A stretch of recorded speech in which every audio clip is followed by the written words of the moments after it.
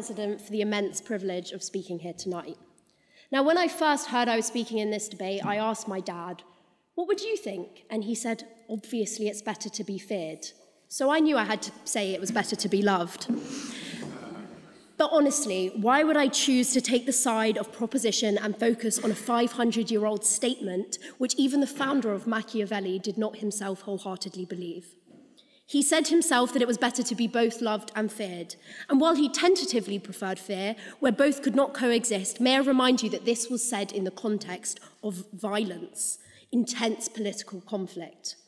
Machiavelli experienced fights between Florence, Milan, Venice, Naples, Spain, and the papacy for control over Italy, and witnessed several French invasions of his home nation. His statement was written in a time of violent conflict and blackmail where fear was all that was known. We, on side opposition, are living in the present. Or, in contrast to Hannah, the real world, not the world of fantasies and supervillains. So, with that, I will focus on three arguments with examples relevant to the modern day. Inevitably, I will first introduce the political angle to show that particularly the general population suffers where fear prevails. This will then be applied to alternative forms of leadership before concluding with the addition of the desire for love in our personal relationships. However, before this, it is my immense pleasure to introduce the speakers on the side proposition. You have just heard from Hannah Edwards, librarian of the Oxford Union and one of my closest friends. Now, it didn't surprise me to hear that Hannah had spoken to go against love because her parents were willing to fork out thousands of pounds just so they, for boarding school just so they didn't have to see her every day. Additionally, she mentioned me being asked on a date by Matthew. She didn't mention that Matthew has asked out every single one of his female friends, apart from Hannah.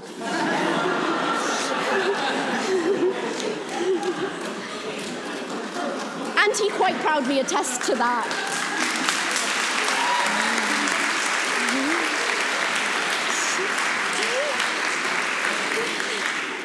The second speaker in proposition is Louise Mensch, author of chick lit novels, a former Conservative MP for Corby, and a reporter on allegations of ties between the Russian Federation and the Trump administration. She started as a Tory, moved to Labour, and then went back to Tories.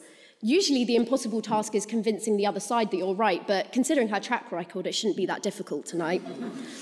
The third speaker is Christine Carroll Chung, visiting student and the union's sponsorship officer. Now, as you will begin to see, the proposition is almost entirely focused on Donald Trump. Um, Christine's email to Eric Trump was received well by him, and he thanked her for her support of the Trump family and her agreed, uh, her agreed disdain for the forces of wokeness. Clearly, she's on the wrong side, as despite being a Democrat, Christine has convinced Eric Trump of her Republican love. Finally, we have Omarosa Newman, American reality TV show participant on the first season of NBC's The Apprentice, and former political aide to, you guessed it, Donald Trump. After being fired from this job, she competed in the reality TV show Big Brother twice. Her road to notoriety and to sitting in the union was just being fired by Trump twice. Mr. President, these are your guests, and they are most welcome.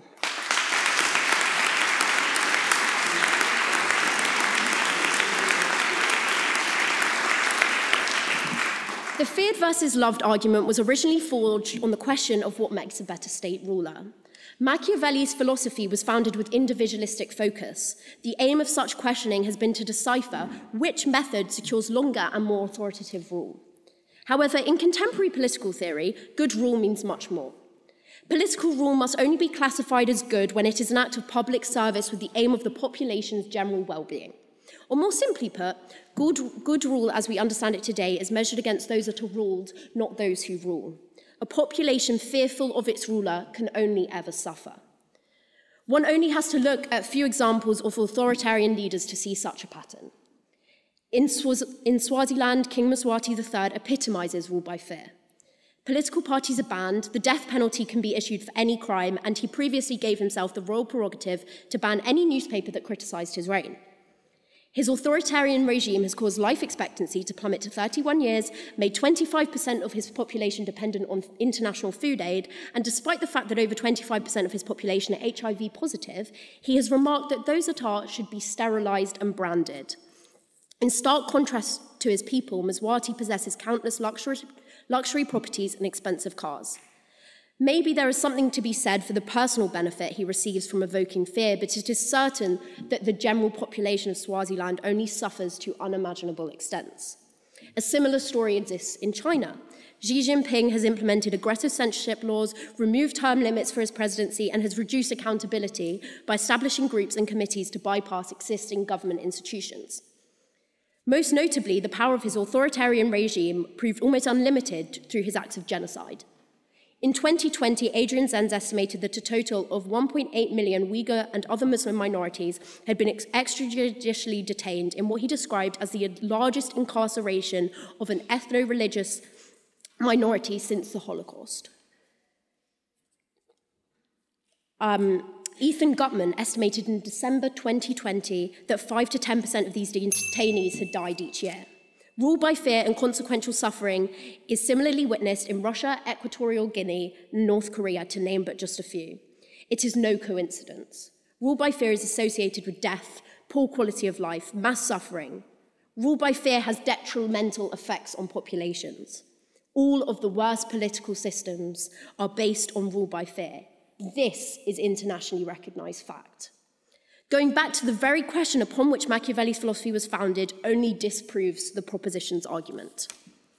The story of love leading to prosperity is also not limited to the political sphere. It filters down to all levels of leadership. The teachers from school which I have the most love for are my history and politics teachers. Here I am today studying those very two subjects at Oxford because my admiration for them sparked my interest and made me dedicated enough to gain admission here. And God, I definitely wasn't scared of them. I mean, one was a short Irish man, and the other my mum described as what looked like a, a sixth form student. So, a quick look on ratemyteacher.com also tells me that I'm not an anomaly. Fear does not lead to respect. Countless students describe their low ratings and lack of respect for teachers who forced them to stay after school to do work or couldn't control the class because they would just shout at them. Football managers are another great example.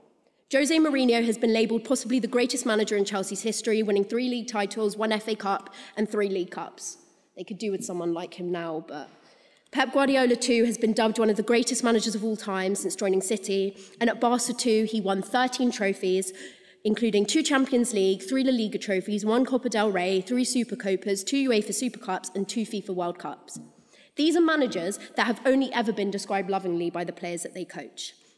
John Terry asserted that he would leave that pitch in a coffin for Mourinho. Messi thanked Pep publicly with all of his heart for everything he has given him personally and professionally.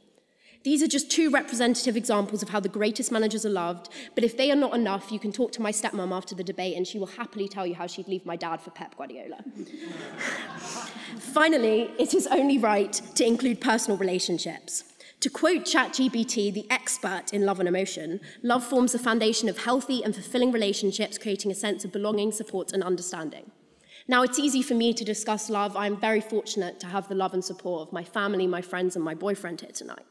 But I thought a more fitting anecdote would be to look at the president, Mr. Matthew Dick, who truly has experienced the trials and tribulations of love. He fondly reminisces of his days at Eton playing field game, a very confusing sport that's only played there.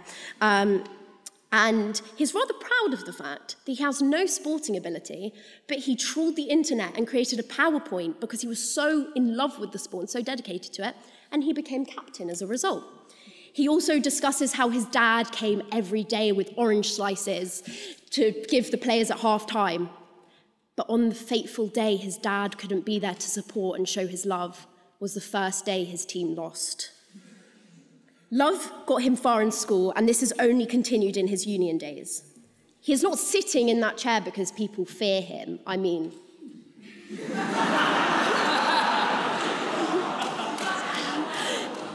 the reason he got elected to committee in the first place is genuinely because someone thought his surname was hilarious.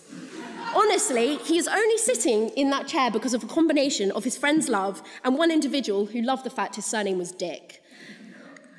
Now, let's go back to the tribulations of love and personal relationships. Matthew was rejected by women, and I mean a lot of women, for 20 years. Me included, Hannah didn't have the chance.